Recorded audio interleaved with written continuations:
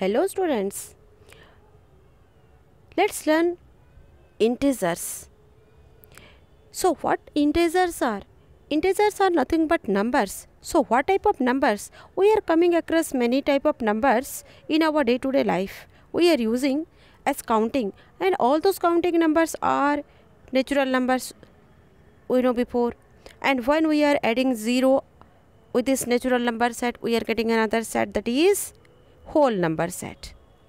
And how we are using those numbers? Let's discuss. We are using those numbers. Suppose we are recording the temperature of a desert maybe 45 degrees celsius. When we are going to record the temperature of a cold place suppose antarctica. It may be negative 45 degrees celsius. So what about this negative sign? The negative sign indicate that this one is less than 0 or it is the temperature is below 0 degrees celsius now let's learn this integers on number line so what are integers? Let's start with number line. A number line already we have learned that when we are representing those whole numbers or natural numbers we may say that this is number array because they are starting from a fixed number but here the number line for integers it never start from one number or never end in any one number particular one number. So we may say that this one is number line. This number line includes whole numbers. Whole numbers started from 0 and when we are writing back of 0 that means before 0 or less than 0 number we are indicating the negative sign. That is negative 1 negative 2 negative 3 all these numbers. Here all these numbers are negative of natural numbers. So when we are taking all the numbers as a whole that numbers are integers that means all the whole numbers are integers and the negative of the natural numbers are the integers. Now, all those natural numbers are positive integers and the left of all those left, left side of 0 all are the negative integers. So, what about 0? 0 is neither negative nor positive. Do you know what is the difference between two consecutive whole numbers? 0, 1, 2, the consecutive integers, the difference is always 1. So, when we are moving right of 0, we are getting 1, 1 number more.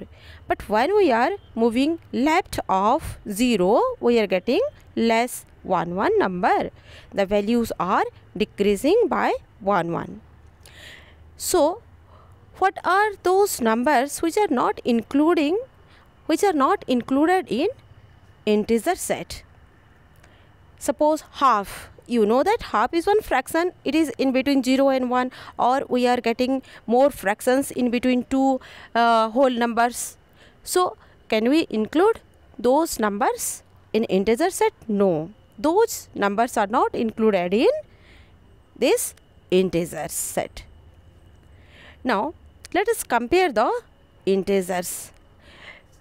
Already we have learnt that 0 is the smallest whole number and 0 is less than any of the positive integer. But 0 is greater than the negative 0 is the greater than the negative integers because this is present right of that negative integers.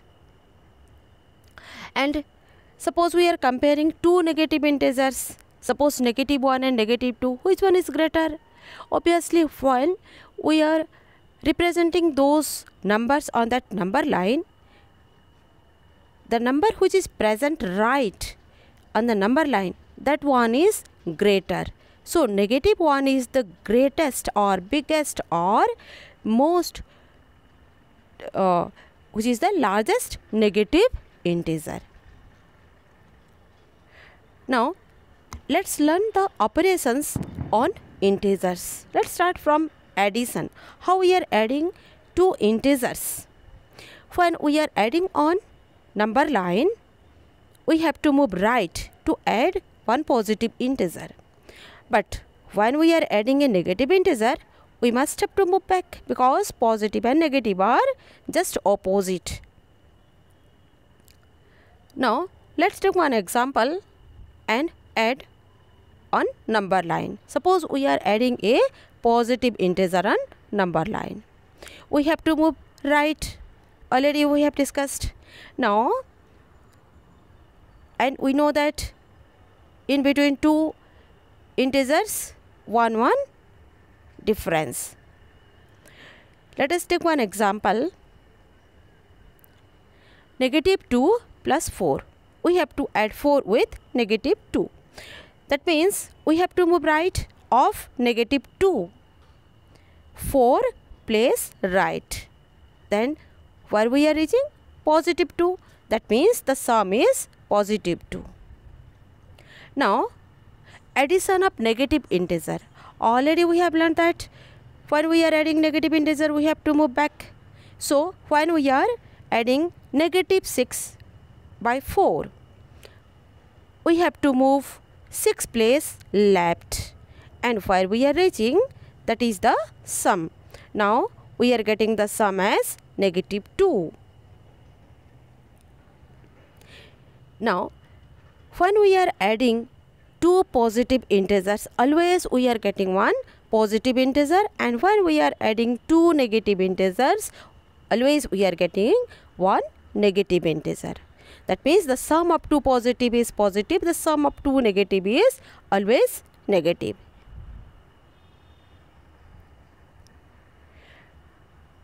Now, how to subtract of integers? Let us subtract a positive integer. It is nothing but a subtraction on number line or subtraction of natural numbers. Suppose we are subtracting uh, positive 6 from 4. Then we have to move left on that number line. That this is the same process as subtraction. Subtracting a positive integer means the subtraction of that natural numbers. Now, suppose 4 minus 6, that means from 4 we have to move back 6 places. Where we are reaching, that is the result we are getting negative 2 that means negative 2 is the result. Now let us subtract a negative integer. Suppose we have to take we have to move left to um, subtract a negative integer.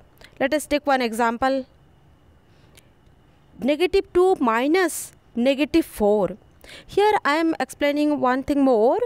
Dear students, when this negative sign, when we are using this sign negative, here this is the negative, here this is the subtraction, here this is the negative 4. The sign which we are using as negative, the same sign we are using for subtraction also. So here it is negative 2 minus negative 4 negative 2 minus negative 4. So, this is the reverse process or this is the addition of 4 also we can say. Now, how to do on that number line? On that number line, now we have to move right. So, come to negative 4 we have to move right means 4 place right where we are getting the number. What we are getting the number that is the result. So negative 2 minus negative 4 is negative 2 sorry positive 2 now let us know about the absolute value. What do you mean by absolute value Absolute value of a number means irrespective to the sign, only the numerical value is the absolute value. That means how much unit distance it from the 0 that is the absolute value of that number irrespective to the direction. Suppose we are taking a number negative 5. What is the absolute value of negative 5? 5 because it is 5 unit distance from 0. The distance from 5 is also the 5 unit. So the absolute value of negative 5 also 5 and positive 5 also 5 so the only we are taking the numerical value as absolute value. And the absolute value we are using in addition of integers of different sign. When we are taking the two different numbers one positive and another negative then how we are adding? We have to take the absolute value of each number. And whose absolute value is more we have to take the sign in the sum. And how much it is greater that one we have to find. So let us take one example. Suppose we are adding two numbers with the same absolute value. Negative 5 and positive 5 negative 5 is also the absolute value is 5 and positive 5 also absolute value is 5 so when we are adding these two numbers which one is whose absolute value is more? Both are equal. That's why when we are adding these two we are getting always 0 now when we are adding negative 5 with positive 3 then whose absolute value is more negative 5 the absolute value is more. So we have to take the sign of sum as negative because the absolute value of negative is more. And here how much more? 2 more. That's why the sum is negative 2 another way suppose negative 5 when we are negative 5 what do you mean by negative 5 negative 5 means 5 number of negatives. And positive 3 means 3 numbers are positive. Now when we are cancelling one negative with another positive, one negative with another positive, one negative with another positive then all this will be 0 and what is left here? Negative 2. That's why the result is negative 2. In this way you can add the numbers of different now multiplication of two integers when we are multiplying two integers. We have to just multiply like whole numbers. But we have to consider the sign of the product. When we are multiplying two positive integers always we are getting the result as positive. Just like two natural numbers. We know that positive integers means natural numbers. So when we are getting the product we are getting the product of natural numbers. But when we are multiplying two negative integers, also we are getting the positive integers. That means whenever we are multiplying the same sign of two integers, we are getting always positive product.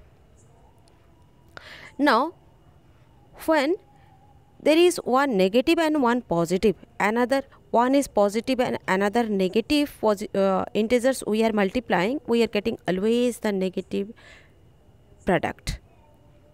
Now let's discuss. We can multiply more than two integers.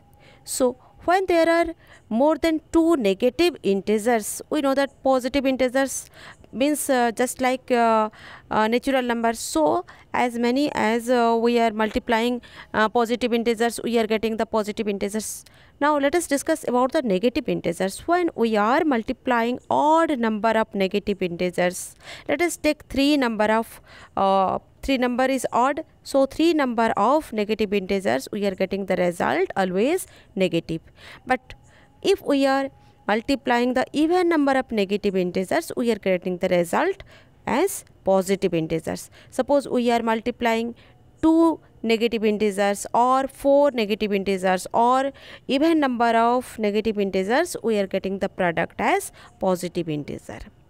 Now let us discuss about the division of integers.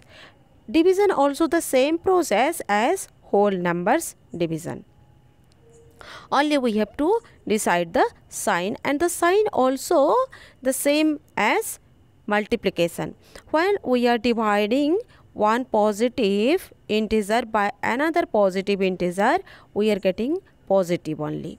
And when we are dividing a negative integer by another negative integer also we are getting the positive integer. For example, negative 20 divided by negative 10 we are getting 2. But when we are dividing a negative integer by another positive integer always we are getting the uh, quotient as negative and when we are dividing a positive integer by another negative integer we are getting the negative quotient. So in this way we are doing the operations on integers. Hope you enjoyed learning. Thank you.